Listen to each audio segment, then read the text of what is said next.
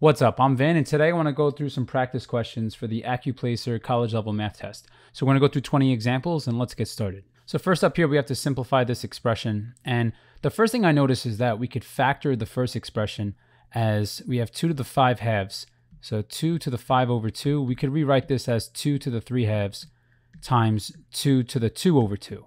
Now, the reason why I'm doing this is that this is going to allow us to factor this expression and we could take out a 2 to the 3 halves, and that tells us that on the leading term here, we're going to be left with 2 to the 2 over 2. Because notice 2 to the 3 halves times 2 to the 2 halves is equal to 2 to the 5 halves. And then if we factor out 2 to the 3 halves on the second term, we're going to be left with 1 like this.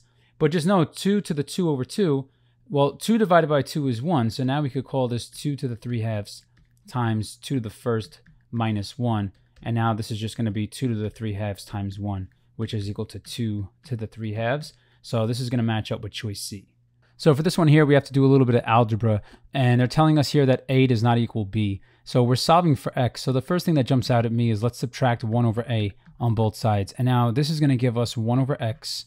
And this is going to cancel out equals 1 over B minus 1 over A. But just know the, any, the only time we're allowed to combine fractions into a single fraction by subtraction is when they have common denominators. So I would multiply this first fraction by a over a, and I would multiply the second fraction by b over b. So now they have denominators of a matching term here. We have ab and ab on this denominator. So in the next line here, what we're going to have is we're going to have 1 over x equals a minus b over a times b. Because notice I have a over ab minus b over ab, and that gets us here. Now, just know anytime you have one fraction equal to another fraction, let's say like this, algebraically, you are allowed to flip both sides and say 2 over 1 equals 8 over 4 in this case. Like this is a true statement. You cannot flip all the fractions in the beginning because these were three separate fractions here. But once you get it down to this step where you have one fraction equals another, you can flip both sides and say that x over 1 or x so we could just say x over 1 or just call it x is equal to the reciprocal of the right side, which would be ab over a minus b. And that's going to match choice E. So for question 3, we have this equation here, and we want to find the value of x minus 1 third squared. So looking at this, we could try to factor this and find the roots. We could try the quadratic formula. But one thing that's jumping out at me is if we take that equation and let's say we divide everything by 3. Well, then we would have x squared minus 2 divided by 3x plus 7 over 3 is equal to 0. And this is looking like completing the square. So the technique for completing the square is that we have to analyze what I like to call, or what's commonly known as the b term. And in this case here, we have a is equal to 1. That's the coefficient of x squared. b is equal to negative 2 thirds. And c is equal to 7 thirds. But we have to take half of the b term. So we're taking half of this. And let's make that neater. So half of negative 2 thirds, and then squaring it. Now, just know anytime you take half of a fraction, you're just doubling the denominator. Um, so we would have negative 2 over 6, and then negative 2 over 6 reduces to negative 1 third. So we'd have negative 1 third squared, which would make positive 1 over 9. So what I'm going to do is I'm going to move the other term to the other side. So I'm going to subtract 7 thirds on both sides. But now this mystery number that we're going to add to both sides is 1 ninth. And once again, the technique for finding that mystery number is that we want to take half of the b term and square it. Okay, so when we take half of this b term, it leaves us with negative one third. Squared gives us one ninth. So that's what we add to both sides. And the reason why we do that is it turns this trinomial here into a perfect square. So now what I could say is we have x minus one third times x minus one third. And if you want to double check, if you expand this, you would have x squared minus 1 third x minus 1 third x, which gives us this. And then negative 1 third times negative 1 third is plus 1 over 9. So this is how this is going to check out. And then notice on the left side, this is going to simplify to x minus 1 third squared equals, which is what we're trying to find. So now we look at these values here, and all we have to do is combine these fractions. This one needs a matching denominator with this one, so we could just do times 3 over 3 and that gives us negative 21 over 9 plus 1 over 9. So that tells us that the right side is going to simplify to negative 20 over 9. And this is going to work out to choice E. For question 4, we want to find an equation of a straight line that's parallel to the graph of y equals 2x. So just know anytime you have lines that are parallel, that means that they have the same slope. So what I'm really looking for in this question is the line that we're trying to find.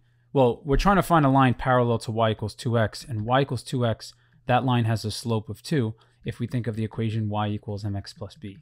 So then uh, I'm just scanning through the answer choices, and you could kind of do that algebra in your head that you're trying to see which one when you solve for y is going to have a 2 in front of the x. And it's looking like choice C. And I'll show you like the math that I did in my head if I pull that out to the side here.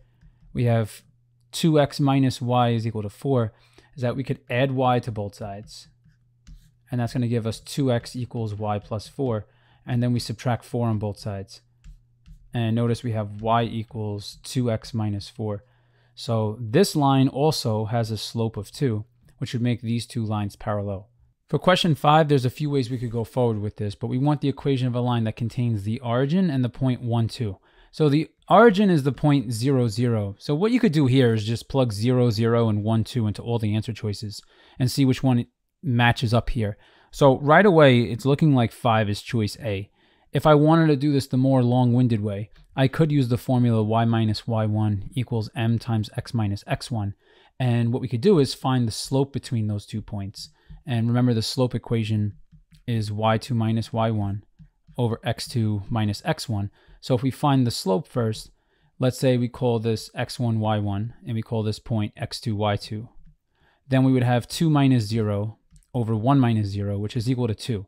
So there's our slope, and then let's say I pick the point 0, 0. It doesn't matter which one we pick to plug into the equation of the line here. But what we would have next is y minus y1 equals the slope times x minus x1. And this is going to give us y equals 2x, which still matches choice A. Question six, there's a lot going on here. We have an apartment building with 12 units, and there's one and two bedroom apartments. The one bedrooms rent for 360 a month, and the two bedrooms rent for 450 a month. So now we have when all the units are rented, the total monthly rental is 4,950. What is the number of two bedroom apartments? So for this one here, this is a system of equations. So we could say X is, let's say, the one bedroom, plus Y is the two bedroom apartments. There's 12 of those. And what we're told is that the smaller apartments are 360 a month, plus the two bedroom apartments are 450 a month, and we could set that equal to 4,000. We could set it equal to 4,950. So then what we need to do here is just solve this system here by elimination. And we're going to choose to eliminate the x since we're trying to solve for the number of two bedroom apartments, which is represented by y. So let's go ahead and do that. We're going to cancel x. So that means let's multiply everything on the bottom by negative 360. So we'll write that result over here. We have 360x on top plus 450y equals 4,950. And on bottom, we have negative 360x minus 360y equals, and now we're just doing 360 times 12. So I'm just going to pretend here, let's say we don't have a calculator. And what I'll do is I'll just do 36 times 12 and then throw a zero at the end. So we have 2 times 6 is 12, carry the 1. 2 times 3 is 6, plus 1 is 7. And then 1 times 6, 1 times 3 goes here. So this is going to give us 4,320 when we do it this way, but there's going to be a minus here. So now we're going to add these equations together. This one's going to cancel completely. This is going to leave us with 90y equals, and now when we subtract, 5 minus 2 is 3, 9 minus 3 is 6. This is what we're left with. So now you have 90y equals 630. So just divide both sides by 90. And you have the zeros go. Y equals 63 divided by 9 is 7. So there are seven apartments. There are seven two bedroom apartments in this building. So, question seven, we have these two squares, and this is the area inside in square yards. And we want to know how many yards of fencing are needed to enclose the two regions. So, we're looking for the combined perimeter of these two squares. So, what I notice here is that right away it jumps out at me that the side length of the first square is going to be square root 5.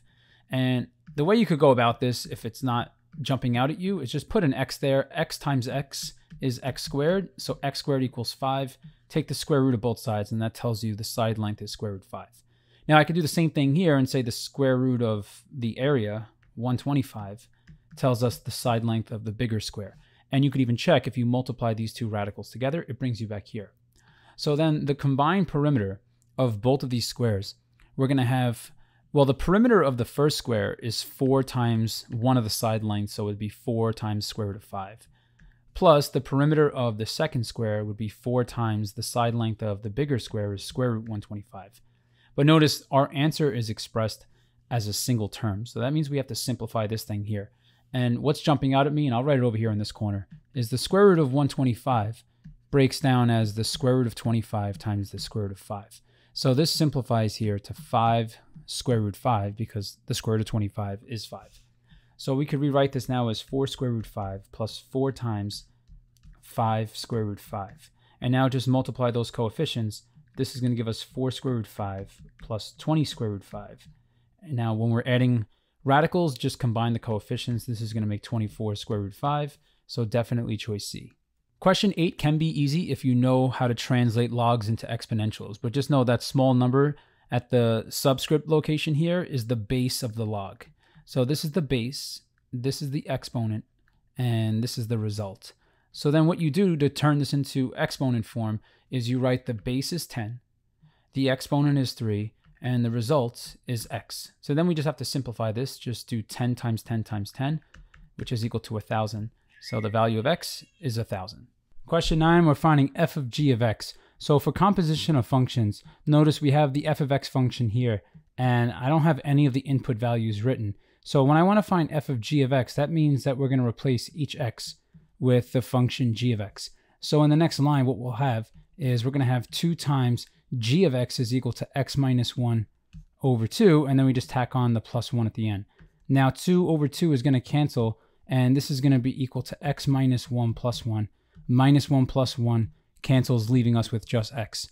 So we're going with choice A here. Question 10, it really helps to know this phrase SOHCAHTOA, because when we're labeling a right triangle with the sine function here, we're going to label the opposite side in the hypotenuse.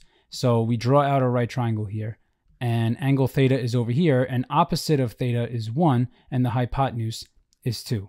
So once again, just know that sine theta is equal to the side opposite of theta over the hypotenuse of the right triangle. So that's why we're setting it up like this. So if we want to find the missing side, let's say we call this side x, we would have x squared plus 1 squared is equal to 2 squared. We're just using the Pythagorean theorem, which tells us that x squared plus 1 is equal to 4, so x squared is equal to 3, and x is equal to square root 3. So that's the missing side here, square root 3. So when we're looking to find cosine of angle theta, cosine is the ratio of the side adjacent to theta over the hypotenuse. And we just found the adjacent side is square root 3, and the hypotenuse is still 2. So we're going with choice D. For question 11, we have to factor. And notice that these expressions here match. We have a 2y minus 3 and a 2y minus 3. Now, what usually throws students off with questions like this, just know it's not written there, but there's an invisible times 1 attached at the end. So that way when we factor, we're going to take out a 2y minus 3. That's what they have in common. But on the first term here, there's a 5y left. So we have 5y. And we have plus, there's a 1 left on the second term. So we have 5y plus 1. So now we just scan the answer choices. We have 5y plus 1 times 2y minus 3. This is going to be choice B. Question 12, we want to know for what real numbers x is this quadratic negative? So what I'm imagining in my head is that when you have a quadratic, when you're trying to find out when the quadratic is negative, I'm just drawing something random here, it's going to be between the roots. So notice we have a positive x squared, so this is a smiling parabola. So the key is that we have to find the two roots, and then it's going to be all the x values between those two roots.